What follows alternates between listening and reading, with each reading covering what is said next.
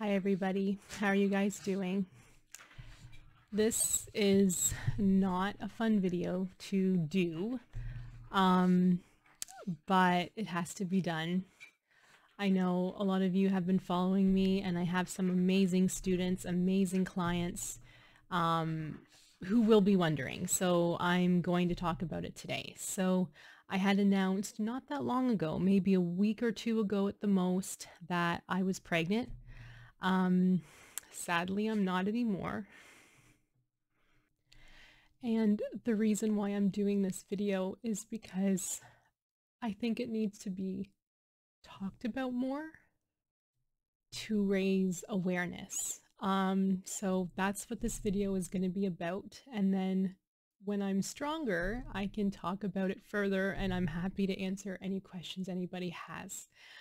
But, and this can be seen as a trigger as well, I should mention. So if the topic of miscarriage isn't something you want me to talk about, I suggest pausing this video now, or I should say not listening to this video, because that's what I'm going to talk about. So apparently, um, it's very common. My OB was telling me one in four pregnant women have a miscarriage. It does get, the statistics get more so as you age. I'm almost 40, so that is considered high risk. Apparently age 35 and older is considered high risk. It doesn't mean you're going to have a miscarriage. It doesn't mean there's going to be complications, but it's just you're at a higher risk, you know? I did not know this. One in four is outstanding to me. I had no idea because nobody talks about it. I can understand why people don't talk about it because it's a touchy subject and it took me a week to even say the words. So and it doesn't always mean something's wrong either. My OB also told me the statistics, a lot of women have at least at least one miscarriage in their lifetime, which I didn't know this either. I thought miscarriages were, you know, there's something wrong not necessarily that somebody wasn't doing the right things, but I thought of it as if you're smoking, drinking alcohol, okay, you have a greater chance of having a miscarriage, but that's not the case at all. But my OB did tell me the baby wasn't healthy and it's better this way. Your body was telling you that it's not the right time. I actually consider myself a strong person, but I have not been during this time all I felt like doing was laying in bed. and that's what I did. I was in bed all week or on the couch with my dogs, sleeping. Um, this video is more for people, not just if you're wondering, you know, why is Andrea no longer posting every two seconds about being pregnant? But it's for those of you who have had a miscarriage. I'm so sorry. But also for those of you who haven't had one but may have one. It's, I don't know if normal is the word, but it's, it could happen, but it doesn't mean anything's wrong. It doesn't mean you did something wrong. But it also doesn't mean you're not going to have a perfectly healthy baby. I keep saying this, but you know, I'm not a doctor, so I'm basically telling you what my doctor told me, not what Mr. Google told me, but what my doctor told me my doctor said so many people have had multiple miscarriages and now have three healthy babies afterwards, you know, three healthy children afterwards. Um, because I did, I had a lot of questions. Why did this happen? How did it happen? I've been eating the healthiest I ever have in my entire life. I wouldn't even drink pop. no sugar, although I did have a candy bar and I felt super guilty about it.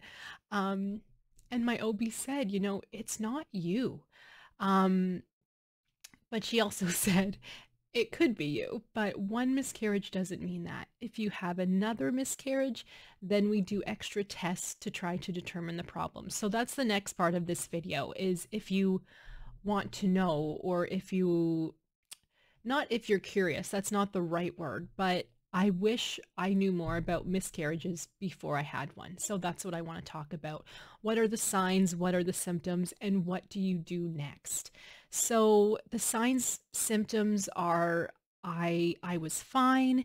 This happened actually Sunday night. In fact, I had a CPR course that day or that night, sorry. I was fine, but I was getting cramps, you know, kind of like period cramps, like ow, it hurts but nothing major. Um, again, this might be too much information for some of you, so I suggest not watching this video if you don't want to hear about my signs and symptoms. But um, I had light bleeding, which is normal. It's called implantation bleeding. My doctor did tell me about that the week prior. But unfortunately, Sunday night, there was a lot of bleeding. Um, a lot. Um, and I was in pain. I had such bad cramps. I was literally like crippling over like this over the counter. I couldn't stand. When when I walked, I walked with a limp. I was in that much pain. I knew something was wrong. you know, I knew something was wrong. It was Sunday night. I'm not the type of person to to go to a doctor even if I'm sick.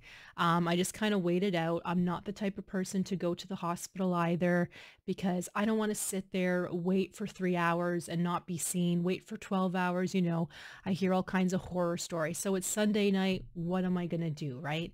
Um, if it was say Monday afternoon, I would have called my doctor and said, this is what's happening. What do I do?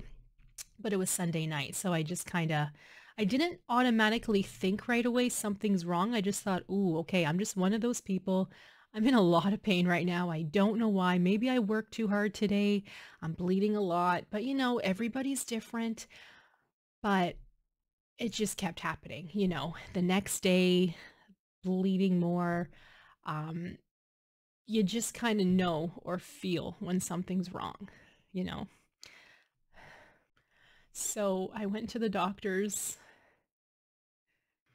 I was so upset, so scared. And they could tell because, well, I couldn't stop crying.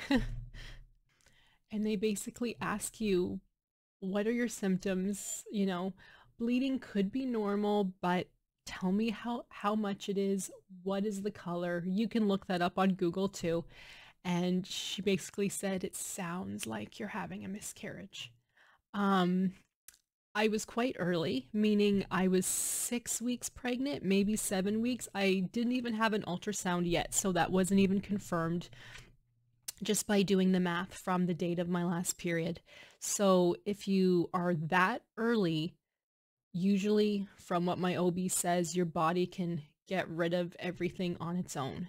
But sometimes there's a medication they can give you that basically, and I might not be saying this properly or in the right way, but forces your uterus to expel everything quicker. And then if that doesn't work, there's a surgery you can do where they go in and clean out your uterus. Again, I might not be saying that properly, but I was very early. So she said, I don't think you need any of those things. You just have to go home, take it easy. Your body will take care of it on its own. But she did say, because um, I did ask her, like, how long is this bleeding going to go on for? Like, I'm afraid I'm losing too much blood. Sorry, guys, but it's true. Um, I was very weak, dizzy, um, but it could have just been emotions as well. She said it could last up to two weeks um, but usually it's going to last a week. If it's longer than that, give me a call, but it could last up to two weeks. And I thought, oh my God, you know, so you go through something like this, which is hard enough, and then you have physical pain. It was like nothing I had ever experienced. So the next step was to get a blood test. And what I just said, I don't like doctors, don't like hospitals. I don't even like getting my blood tested. I think I mentioned in one of my videos I, I need to lay down, but that does help. So I said to her, because I do question doctors, I'm that patient. I said to her, why am I getting my blood test done if it's pretty obvious what's happening? Like, why put myself through that? I just want to go home and curl up in a ball and not be seen in public right now. And she said, well, they need to monitor your levels. HCG, I might be saying that wrong too, but they need to monitor my levels. Um, when you're pregnant, your HCG levels are higher. When you're not, it's lower and goes down or is non-existent. So she said, I would like you to take one blood test soon. So we have a baseline for those levels and then take another one in four or five days so we can make sure it's going down. But I still don't see the point of doing that because, I mean, anyway, so I didn't get my blood tested just because I was so weak, so tired, the shock of everything. I couldn't even make an appointment with the doctor without crying. So how am I going to go in public? I just, I didn't want to embarrass myself as silly as that sounds because when you're crying, of course people are going to look at you like, oh my God, what's the matter with her? And that's basically what I felt like at the doctor's office, you know, which I don't blame people, but they're kind of like, and the nurse rushed me into a room right away, probably so I don't upset other clients. I don't blame her, but anyway. So I haven't had my blood tested yet, but what I've decided to do is I'm going to wait another week. If my bleeding doesn't stop, then I'll get my blood tested just to be sure everything's okay because then she did say if you don't get your blood tested well that's fine but then we're never going to know if you've had the full miscarriage. I guess what can happen sometimes, and again, this is an informative video. I wish I knew this before I had mine. So this is for those of you who want to be informed. She said, um, if those levels don't go down, then you might need to take another blood test a week later just to see maybe it's taking it your body longer for those levels to go down. But if they don't go down, then we might need to have an ultrasound to see why. We might need to clean out your uterus for you if those levels don't go down. And or you could have a false positive pregnancy test in the future, which is not fun for anybody. You know, you don't want to get excited and then realize you're not pregnant, but then you also don't not want to know you're pregnant if you are. So that I get. So I think what I'm going to do, you guys, is I'm not going to take the blood test. I still don't even feel like going out in public. Um, it's hard to explain, but I feel like everybody knows and I don't want to talk about it. So I don't want people to ask me about it. But of course people don't know because I haven't told them. but I'm okay to stay in my little bubble for now. But what I think I'm going to do, you guys, is I'm going to wait another week until I get stronger. And then I will probably get those blood tests just to confirm. I do think that will make me feel better that I've expelled everything I'm supposed to. Because Adrian and I would like to keep trying to have a baby. And what I don't want to happen is for my HCG levels to never go down and then I think I'm pregnant when I'm not or, you know, I don't know. I don't know, you guys. So in this case, I guess I will listen to the doctor and do that. But what I don't want to do is get a blood test now. It's going to be so hard for me. I am so weak, you, um, you guys. Like, do I look whiter to you? I feel so weak. TMI, I've lost so much blood. I didn't even know I had that in me. Like, it's crazy. So I can't imagine going, getting my blood tested in this weakened state as it is, and they're taking more blood. And then if those HCG levels don't go down, I have to go back again a couple weeks later. So I think I just prefer to wait a week or two, maybe a week, and then I'll kind of make that decision then, get that blood test to confirm everything. So yeah, that's what I think I'm going to do. Um, so I hope this video helps, if not to just inform people. Apparently miscarriages are very normal. Again, I don't know if normal is the right word, but it happens to a lot of people. Doesn't mean anything's wrong, but it could mean something's wrong. Um, my OB told me usually if your miscarriage, if a miscarriage happens again, it could be a genetic issue. I don't know of anything in my family per se. My sister had a very healthy baby boy in June. So yay, that's a good sign, right? But I'm also 10 years older than my sister, so we shall see. I had all these videos prepared on my pregnancy. I took those off of my scheduled videos to publish. Those are no longer there. But Um, I hope it happens again. Not the miscarriage, obviously, but a pregnancy. Um, I wouldn't have done anything different. You know, I see why people don't tell people they're pregnant until three months afterwards because apparently the chances of having a miscarriage does go down after three months, but it still does happen. Um, I see why people don't say they're pregnant, but you know what? Adrian and I were so excited. Um, I, I would not do anything differently. In fact, if I get pregnant again, I'm going to tell you guys again. I'm going to tell family, everybody again. Um, I'm going to be so excited, but also scared. oh my God. I did not think this could happen. I've been through so much. So much this year. My brother passed away in June, July. Oh my god, July. And now this. It's not fair, is it? Anyway, boo-hoo to me. if anybody has any questions, I am very happy to answer them because I do believe this needs to be talked about. How it happens in one in four females. I mean, come on. I did not know this, and I feel that would have not helped me through this process, but it would have, I would have known what to expect. I wouldn't have felt so alone. Does that make sense? This is a very lonely feeling. My family lives in Ontario, and of course, it's not an easy flight to come to Winnipeg. It's two flights, they usually get canceled. In the summer, they do offer direct flights, but not now. So it's been tough. I don't think I've ever felt so alone. but, you know, you nobody can say the right thing. It's it's nobody's fault, but you just feel like you're internalizing everything if that makes sense it's it's really hard, you guys. It's really hard. So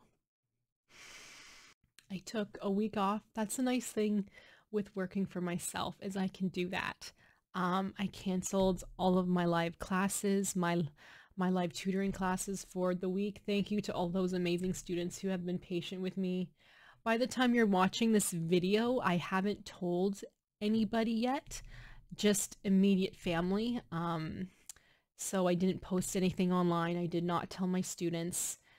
I'm going to post something after this video gets published. Um, but I took the full week off. I needed it. I feel better in the sense that I feel stronger. You know, time really does heal. I'm glad I didn't push myself. I took those days to literally sleep in bed. All I did was lay in bed. Um, I was in immense pain, you know, cramping pain where I couldn't do anything. Um, Advil and Tylenol together really does help. I'm not a doctor, so please don't go take Advil and Tylenol if you're in extreme pain for anything. Please talk to your doctor, but I don't like taking medication either.